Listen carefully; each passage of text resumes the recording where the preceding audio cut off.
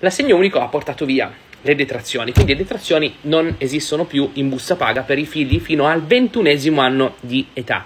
Quindi sostanzialmente per poter continuare a percepire quelle che sono le detrazioni, ovvero la compensazione della detrazione, bisogna appunto richiedere l'assegno unico e universale.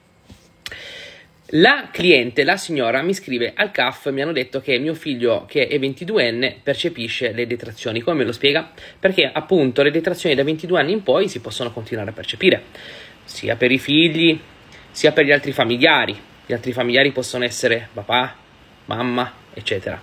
Quindi sostanzialmente le detrazioni dai 21 anni in su esistono ancora, le possiamo percepire durante l'anno, le possiamo percepire in busta paga le possiamo percepire direttamente nel modello 730. Io, per esempio, personalmente sconsiglio sempre di prendere le trazioni per la moglie o per il marito a carico, poiché se durante l'anno mi trovo lavoro rischiamo di, boom, andare a restituire tutto quanto indietro.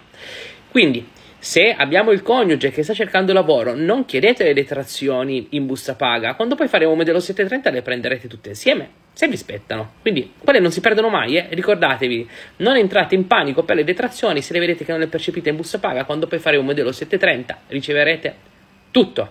Per le domande scrivetemi qua, vi ricordo, quando vedete i miei video mettetelo sempre tra i preferiti, sarà più facile che TikTok ti proponga i miei contenuti e io vi mando un abbraccio.